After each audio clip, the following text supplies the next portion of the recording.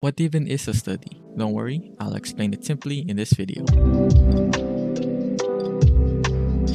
If you enjoy digital painting and would like to learn more, make sure to subscribe and hit the bell icon to not miss any of my videos. Hello, my name is Rexel, professional concept artist and art instructor.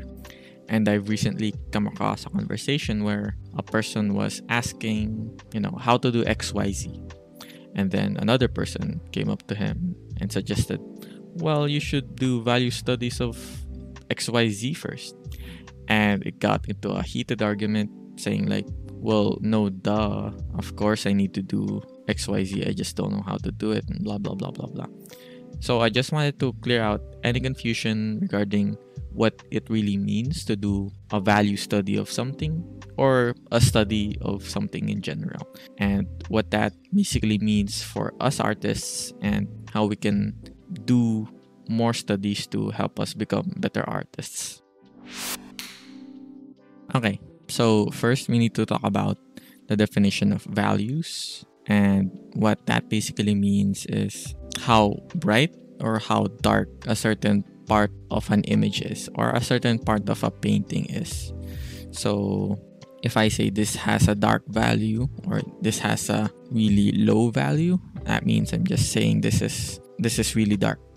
And if I say this has a high value, I'm just saying it's uh, close to white or a brighter part of the image. Knowing how things work in black and white is almost always more important than knowing what color a specific object is. So, it doesn't really matter if you're colorblind as long as you know what it should look like in black and white you're already like 90% there. And in actuality, um, color theory is only like 10 or 20% of uh, your entire painting skill tree. Other than knowing what values should look like, the other part is learning the properties of light and shadow and you know as well as the other fundamentals such as you know perspective form anatomy uh, things like that. When you're doing value studies, you're basically trying to familiarize yourself with the subject. And value studies or studies in general in art acts as the exercise portion of art. So, as an analogy, if we were studying music, reading about music theory is the same as reading about color theory. And doing value studies is basically the same as playing covers or practicing songs and um, basically that's the execution part of it you know? So when a musician tries to study um, notes and scales you know reading about music theory and all that stuff why things sound good um, that's like the mental aspect and like the lecture aspect the theory aspect of being a good musician and the other half is being able to execute, being able to apply those knowledge and techniques into a performance and executing it well. So, being able to play a song, being able to make a song, being able to switch to different chords and stuff like that. Okay, so the first step in making a good study is you need to find a good reference. This reference has to have full value range, the plane changes are visible, and the image is neither underexposed or overexposed. I'll show you what I mean in a second. The other part is if you're studying a specific subject, you need to isolate that subject. Say if you want to study the eyes, for example, um, and you get some references of faces, you should crop it to the eyes only so that you don't get distracted by everything else. So you don't waste time on trying to make the perfect nose or the perfect mouth or trying to capture the hairstyle. It just wouldn't help you to have those things. So if you can, just crop the image of what you need, then study that as is instead of having other things in your reference image and being distracted by all, all those other things. So, for example, this is what I mean by a good reference. There's a full value range for this um, image. So, you can see there's a highlight and there's a bunch of mid-tone areas and there's the core shadow there's the reflected light and there's the cast shadow and the background is a relatively um, mid-tone grayish color. And what i mean by overexposed or underexposed is the white area the whitest areas or the pure white areas doesn't overwhelm the picture. And as well as the pure black areas. The pure black areas are probably over here in this very corner. And it doesn't really overwhelm the picture. Another great thing about this is uh, it also has its accompanied um, black and white version or the colorless version where uh, it's basically it basically has the same form but it doesn't have any color which is really really useful for beginners who struggle with understanding values because sometimes colors are a distraction and sometimes you're fiddling around with trying to capture the right color and you don't capture the right value if you're a beginner and you're struggling with value studies i suggest either picking only black and white references or turning your references into black and white first before trying to do a study of them. So this is great. It has full value range and you can see the plane changes. What I mean by that is um, like we can divide this plane as the one in shadow and there's this plane that kind of face over there and there's this plane kind of faces over there and there's this plane that kind of faces over there. So it's much easier for us to deconstruct the planes and see those hard edges and then soften them up later. Um, the most the most obvious example of it is of course a cube.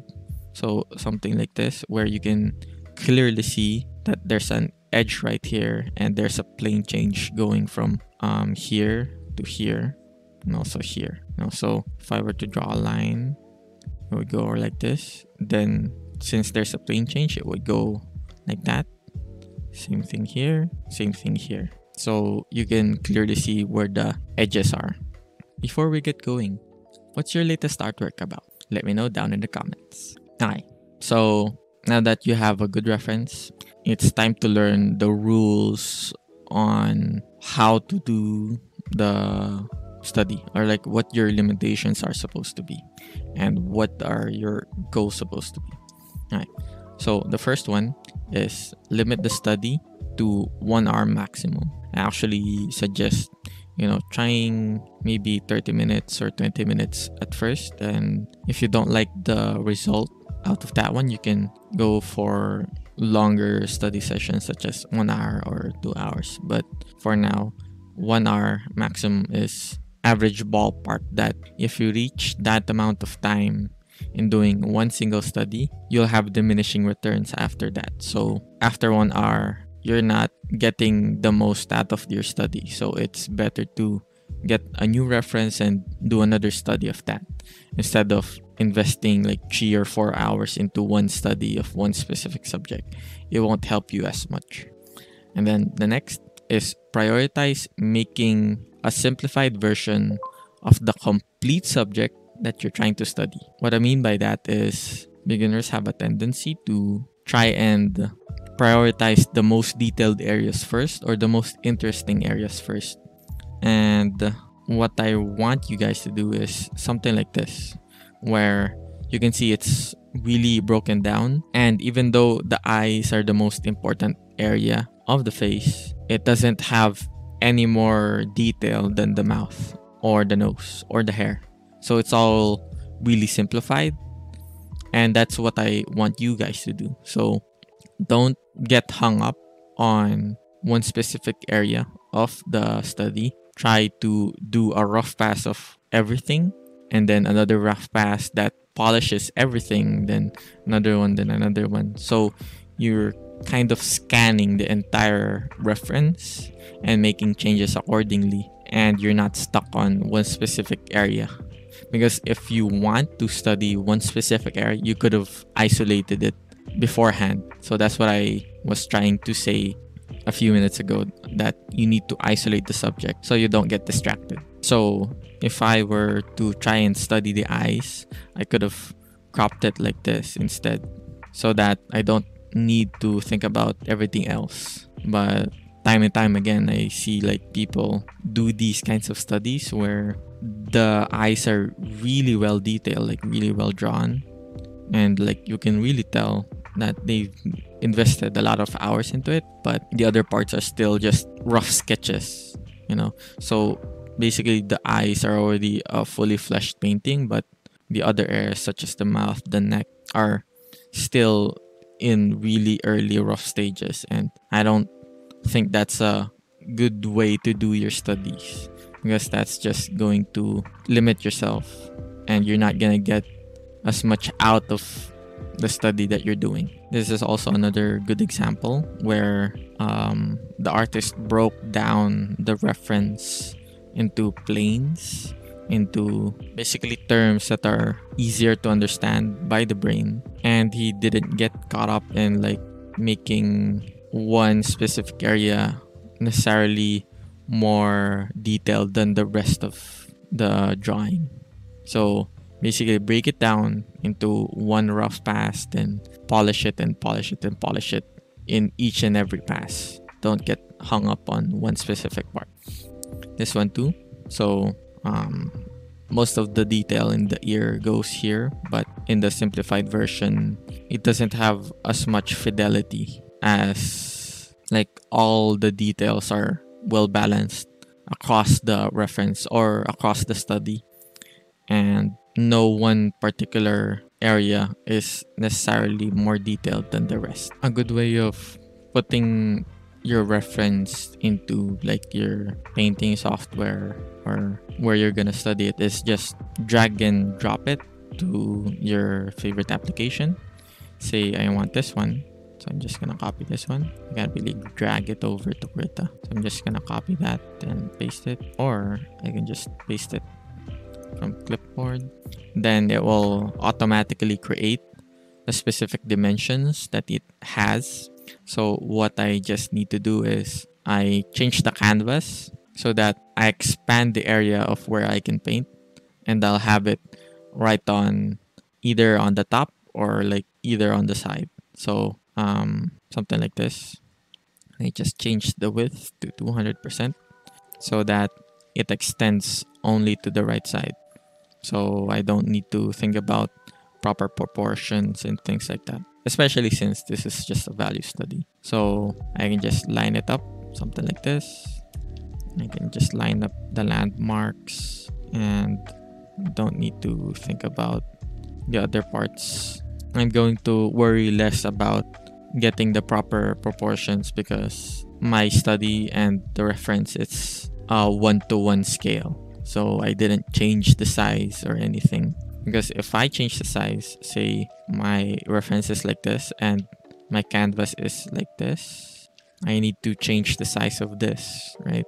So maybe needs to be something like that instead of copying it one to one, which is much easier. And yeah, that's just something to keep in mind that if you want to copy the proportions exactly or you don't want to fiddle around with proportions as much and just want to focus on values you just extend the canvas and put the anchor on uh, on these specific sides and then extend it like that or if I want it from top to bottom I can do that as well by changing the height putting the anchor over here so that I can just match the proportions and place lines accordingly and put my landmarks like that, you know.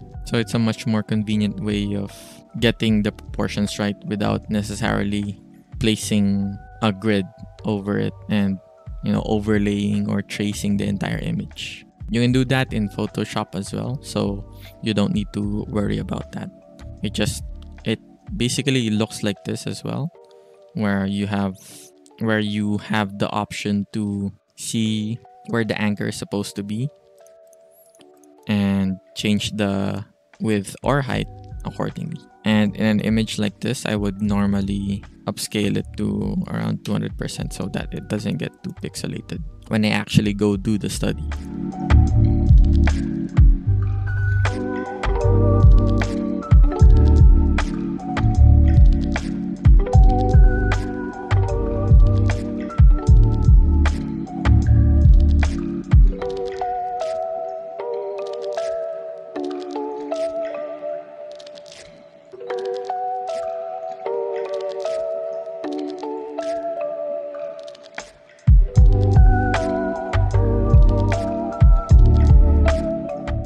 Just did a quick study of this image right here as an example. I just wanted to show um, the next step, which is post-mortem, which is basically breaking down what happened and like what went wrong with the study that you made and taking note of it. So the first thing in the post-mortem is try and overlay your study on top of the reference that you got. So I'm gonna get this one, copy it, then gonna put it over here and see um, what went wrong with my image. So I'm fairly happy with this area over here, uh, but I could have done a much better job at capturing the shapes over here. So I should take note of that. So I'm gonna add a new layer, use a red pen or whatever you like, and literally just try and draw on top of it. So shapes, this one, just put the check mark over there. And I could have used better brushes here to capture the grain and I like how I captured the colors which is great. But if you're just studying values don't think about color. I just wanted to point it out here. I have some slight issues with the proportions. So the big areas of shadow over here are lost if you can tell which I kind of like about the original reference. It had a really organic look to it, and I didn't get to capture that because I was trying to abstract it more. But yeah, so just take note of it, write it down on something else like a notepad or something. You can also just turn down the opacity instead of flickering it on and off like this one you just turn it down a bit so that you can see the differences between the two. This is much more apparent for the stuff that needs precision and accuracy. So if you're doing a study of an architectural building for example that would be a better way of doing it. But since this is a more organic subject it's much easier for me to see the changes by turning it on and off. And in this post-mortem just ask yourself what didn't you capture in the reference? Which part took you the longest to do? And which part did you struggle with? And how can you remedy those problems next time? So just write down those notes and arguably the most important step of all is to take your notes. So i'm gonna get these notes over here. Gonna put it on a notepad somewhere and blah blah blah blah blah. And then before I start the next study, I go back and look at the notes that I have and put it on the same canvas. So say I want to do the study of this one. So I'm gonna copy that. Clipboard. Then I extend the canvas. And then before I do anything else, I get the notes. I think about the notes. And basically I want to have it visible either before or while I'm doing the study. So, say if I was too busy trying to capture a specific area on the reference and I'm not abstracting it, I'm not simplifying the reference enough, uh, I'm gonna catch myself doing that because I have the notes ready here. Oh, I have a tendency to do that. I'm gonna try and avoid not doing that. And basically, this is just you trying to catch yourself on your mistakes and forcing yourself to be way more deliberate in your practice and study sessions, which will accelerate your learning even quicker, which is really helpful if you're if you're a struggling self-taught artist. Because a lot of times we get to a point where we don't see much improvements over our work even though we're practicing a lot. And deliberate practice and deliberate intentions before going into these study sessions is the key to making good progress on being a better artist. So I'm not gonna lie, this is gonna take the fun out of drawing. Well, some sometimes it's gonna take the fun out of drawing because if it's your first time doing a serious study like this, you're gonna struggle a lot. But it does get better over time. And it's also a good sign if you're struggling because that means your brain is trying to create new connections, trying to strengthen the memories of what you have just learned. And creating those new connections actually put a strain on your head, like mentally on your brain. It puts a strain on there. If it takes a lot out of you, it's good to balance this out with stuff that you enjoy doing. So, some personal sketches and drawings that don't necessarily need to be polished nor good in any standard. You just wanted to draw and draw for fun. It's a good way to balance out these kinds of serious study sessions so that you don't lose out on all of the passion and enthusiasm and interest that brought you to art in the first place. So don't burn yourself out, but yeah, just keep that in mind.